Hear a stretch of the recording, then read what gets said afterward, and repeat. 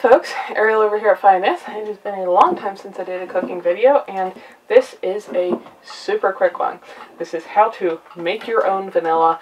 It's going to take me longer to explain what I'm doing than it would to do it. I could make a new batch of vanilla here in about 10 seconds. So, what I've got here is a batch that I made, I think the date on there three years ago. Um, you can see how much I've used in the past three years. But this is super dark. It probably, just to the camera, looks like, um, you know, it's black in here. But you can kind of see, see if I can make them stick out there. You can kind of see the tops of vanilla beans sticking out on the top of the glass. Anyway, that is the color it gets after soaking for a while. This is what it looked like when it started. Just totally clear. So how you make extracts of a whole lot of things is uh, some things extract well in water. Think like herbal teas and such that you might make. Um, some things extract well in oils and some things extract well in alcohol. The very complicated, complex flavors of vanilla seem to extract very well in alcohol. Some people use glycerin if you do not want to have any alcohol in the extract. Now, if you bake and cook, you probably realize that when you use vanilla in your cookies or cakes or whatever, you're using like a teaspoon in there, and usually the product is then being baked or something like that, and so the alcohol itself is actually evaporating. So if you if you don't want to drink, if you're not a drinker and that's a concern, used in baked goods, you're still not going to actually be consuming the alcohol. It's just a way to get the flavor out of the beans that may be uh, something some of you care about or not. Anyway, so I've got this full brand new bottle of vodka. You can use any kind you want. You also don't have to make this big of a batch. Um, I think the proportions generally recommended are like two to three beans. What did they say on here? One ounce of beans um, for every eight ounces of extract. So you could do just, you know, a little bit in a little jar. I find this easier. I do bake and cook a lot. Come here, baby. Here, we're not going outside right now. I'm talking. Good boy. I don't know if you guys can see Barley down here on the floor. Anyway, I bake and cook a lot, plus this is fun to give as gifts. So I'm going to just make another full bottle while I'm at it, but I don't think I can quite get all of these beans. The proportions work out about to what I mentioned if you were just going to do a single cup, because this was a package of, I think, 25 beans. They smell just heavenly. Yeah, 25 beans in this bag. Um, so I'm going to do this full thing full, and then I'll have plenty of time to sit. But I need to make just a little bit of space in here so that I can do that.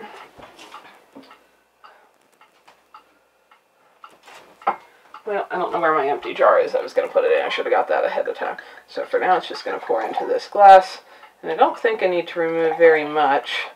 Just enough that I have airspace in there. And you could, of course, pour this into another bottle as well. I find it just as easy to leave in there. now, I am going to, I do try to pick some kind of vodka brand that is in a glass bottle because I don't really want this to sit in plastic mm. forever. So, I'm just going to drop my beans in here whole. They kind of have a little hook on the end, so you have to give it a little bit of a uh, assistance there with the skinny neck at some point. If you read a lot of other people's um, recipes, they'll often tell you to split the beans in half. That seems to just be so that it um, speeds up the ability of the alcohol to extract it, which is fine. I am not in a particular hurry here. As you can see, I'm not about to run out of my current extract, so I am in no rush at all. So because it's way easier, I'm just going to drop whole beans in, which is exactly how I made this one. That's how I've made all the batches I've ever made, because I'm kind of lazy like that, and why bother cutting beans in half if I don't need to. So, super, super easy, and these, again, that, that scent is just wonderful. If you didn't know, a vanilla bean comes, it's the, the fruit produced from a particular orchid, a vanilla orchid. Um, so I did have to buy these because vanilla orchids do not grow in Wyoming. Um, anyway, so looks like I guessed just about right on the amount of liquid I took out. So really, that's all there is to it. Now I'm just going to cap it. Then you want to put it somewhere cool and dark. Let's, see if we can show the camera. You can see all the beans in there and how clear that is compared to one that has been sitting for three years that you can see some bean bits sticking out the top there, but that's about it. Um, somewhere cool and dark, like simply the back of the cupboard, which is where these normally reside. And um, again, you'll see people who say, you know, every day pull it out and give it a shake. that again is mostly to help it extract faster. Like if you're in a hurry, you don't have any and you want some in 30 days, actually I think I don't think anyone would recommend you know using it before kind of two months. So hurry is a relative term. I am in no hurry at all. Like I'm going to stick this in the back of the cupboard, and I'm probably not even going to think about it for another year. So I am not going to pull it out every day and shake it, though I could.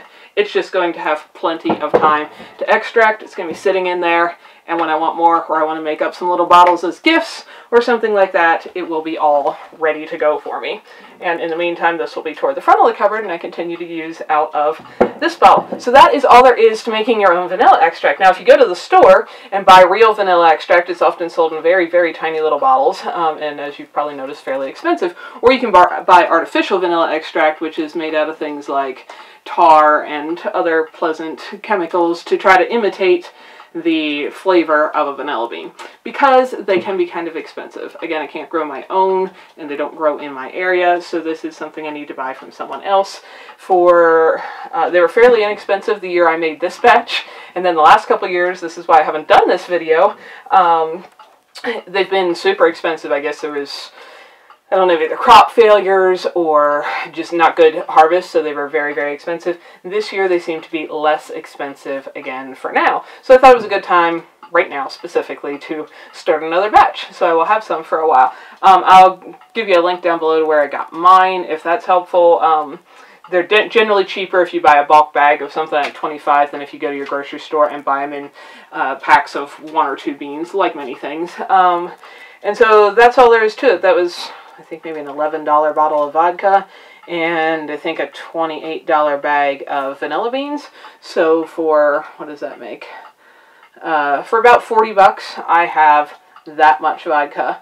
I mean, that much vanilla extract instead of buying the little tiny, tiny, um, you know, containers of it for 6, 8, 10, 12, 16, depending on the size in your local grocery store, um, dollars a piece. So that's a very efficient way to do it, and that's all there is to it. This guy normally lives in this cupboard here, behind the jar of salt, and because I know that I don't plan to touch this thing for a long time, it's just going to go in the back of that cupboard. A couple other housekeeping things. If you are new to the channel, welcome. Uh, I know a whole lot of new people have subscribed in the last little bit, and that is cool. Uh, I am Ariel. I live here in my little tiny house where I can, if I don't knock my lamp over, almost touch both walls at the same time. It's a tiny house on wheels. I live off-grid in the Wyoming mountains, and the videos here are all kinds of stuff about being in a tiny house, being off grid, living in a cold area, the wildlife that surrounds me, cooking. Uh, once the snow piles that are outside, it's about 20 degrees outside right now, Fahrenheit, at below freezing, um, and there's still snow piles this tall out there. Um, if once they melt, then there's gardening info. It's just everything about my life here. What I try to share is the things that I've done or tried, what works well for me, what doesn't. Again, that is all personal to me. Um, come here. and my puppy dog Burley. Dance. Oh, come on, the whole way, dance. Oh yes, that way you can say hi to the camera. Um, I try to share, you know, just my experiences, and hopefully some of it is helpful to some of you guys if you're trying to do any similar things in your life, or maybe you just find it interesting and entertaining, I don't know. But I just try to show what works for me and what doesn't, and then you can either say, well, I'm in a situation that's very much the same, so if that works well for Ariel, it probably would for me, or you can say, my situation and climate is totally different, so if that works good for her, I should probably never try that, or whatever.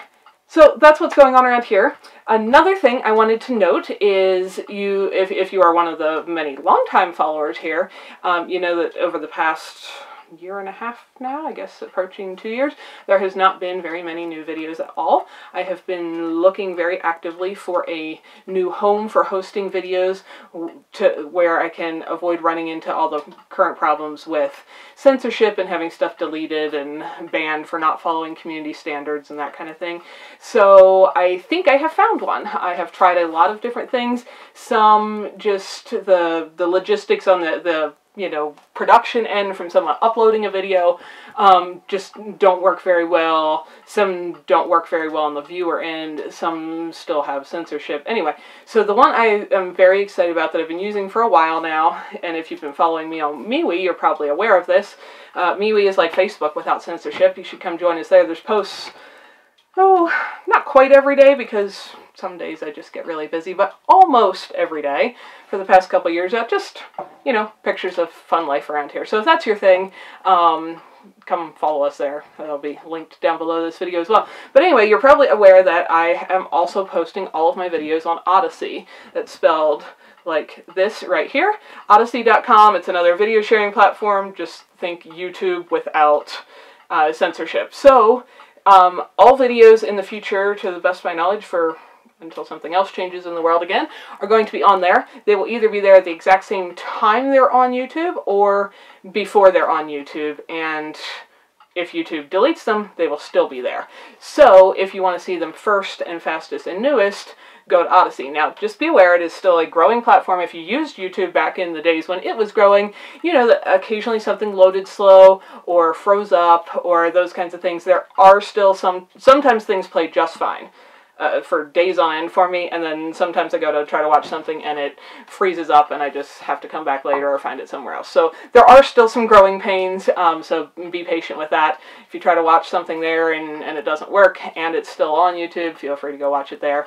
Um, but that is if you if you follow Fy Nyth's channel on there, you will see everything either at the same time or I think generally before everyone else. So if that interests you, come follow me there. And then that is also the place, even if you don't care about it the rest of the time, whenever YouTube totally deletes my channel and it doesn't exist anymore, that will be a place to come find me. Or the, the blog, um, which is also linked down below, and if you want to be able to get email updates, you can sign up for that, or you can just check the blog as you please, whatever. So those are in uh, after my hiatus here, where there's been a few posts and shares and stuff, there's there's been lots of activity on MeWe and the blog actually. But if you have only followed stuff in the video realm, that is where to find it. That's where to find more information if you are interested. And there is going to be some very big and exciting news in the next little bit. I hope to be back to over this next year doing a lot more regular videos, a lot of content, and I have a lot of exciting projects that I want to share with you guys. So, to summarize all that, if you want to follow all that, uh, if you want to see regular daily posts and just fun stuff and pictures of life around here, uh, follow us on MeWe. If you want to see videos first and fastest, uh, follow us on Odysee. And if you don't care about any of that, there will be videos shared here until that becomes impossible for me. So, that is the news from around here. I probably need to go fill the bird feeders, and then I've got some other projects I need to get done. So that is it for this morning. And yes, I know it looks warm and cozy in here, and the stove right beside me is cooking, but it is well below freezing outside, and there is lots of snow. So maybe I'll get that into the next video. Hope you guys all have a wonderful day. Hi folks, Ariel over here. Thanks for spending some of your valuable time watching these videos. Hopefully you found something beautiful, educational, interesting, peaceful, relaxing, or useful while you were here. If so, find more videos here, subscribe so you don't miss any updates, and if you like what you found here, feel free to like and share away so that others can benefit as well. You all have a wonderful day.